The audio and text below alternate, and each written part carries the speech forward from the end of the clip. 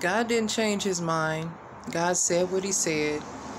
God did not change his mind. He said what he said. Keep standing on what the Lord spoke to you about your spouse. You you that are still standing. You that are still waiting.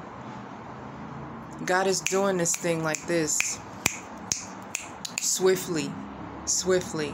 So don't believe those videos when people are saying, "Oh man, my my husband didn't accept, my wife didn't accept the the plan of the Lord."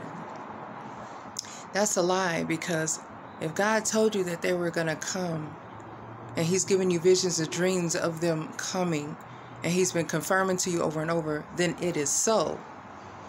Okay? It is so. Let me tell you. The replacements, that's a lie as well. God is not talking about um he's he's he's not talking to you about replacements. That is another spirit and you know what spirit that is. So I just want to encourage you that if you continue to hold on and stand um, because this thing is happening swiftly, you keep standing because it's it's all well worth it. It's all well worth it every tear that you cried, fighting the enemy off, you know, fighting the lies off, it's all worth it and it's bigger than what you can, it's bigger than what you can imagine. Sometimes, you know, the separation, you got to look at the separation as a blessing. Look at the separation as a blessing. Your spouse could have been in and out your life in and out the door and just breaking your heart over and over again. But this in this time and in the silence you have been growing closer to the lord. Your discernment has been getting sharper and god has kept you in peace. While your spouse was going through what they were going through while they were finding their way back to jesus saying that the world did not have anything for them, that it was only the Lord. So I just want to encourage you to find, to look at the blessing in the wait because there's all kinds of lessons there's all kind of blessings in why you have waited for so long. But brother and sister you're more you're stronger spiritually. You're walking in your calling. You know who you are in the lord. And so your spouse catching right up to you, aligned to you, both of you walking in agreement. There is a break in sight. There is a, a break in the silence happening, and you welcome them and you pour into them. Okay? And that is huge. You pour into them because the enemy has been stealing from them a lot. Stealing from their, their manhood, their womanhood, a lot. And let me tell you, you're the one that's going to help build them back up and and pour into them courage, speak life to them. Listen, it's a beautiful, it's a beautiful, powerful walk, you guys. And so if you're still standing, it's worth it. It's worth it. Still stand, still praise, still worship, still thank God, still have gratitude Keep your heart open to receive. Prepare, prepare, prepare to receive. Those of you that are still standing.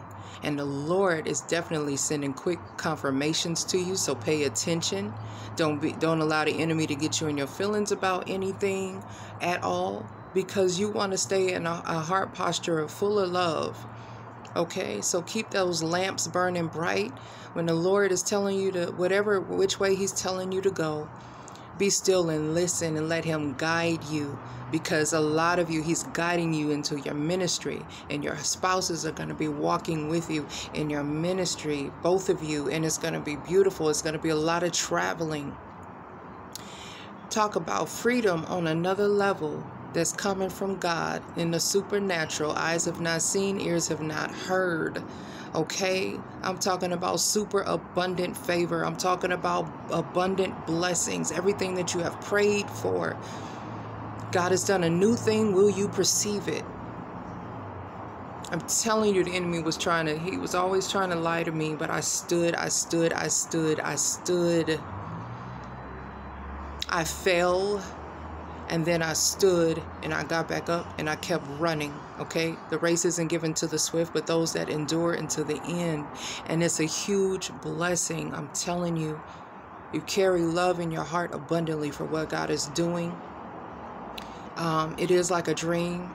It you will you will definitely be feeling um, like you're walking in a dream. Psalms 126. Okay, so be encouraged. Completely stay in hope. Stay in joy. Everything that God does is worth it. Everything He tells us to do while we while we're waiting with him and walking with him and uplifting others and and blessing people on our journey everything he tells us to do is a huge blessing on us and on others. Um, it's purposeful. Everything God does is purposeful. He's got it. He, you know, he he wants his children now. The anointing is happening to where happening to where, you know, you're walking in power, not second guessing God anymore. Walking in power, walking in love, not second guessing His voice, knowing who you are, whose you are, boldly doing and stepping into what God has called you to step into boldly with no fear. Okay? This is this is the new children of God, kingdom of God. wow. It's rising, it's rising. Just like the darkness is rising, which is defeated, God's kingdom is rising. So I encourage you guys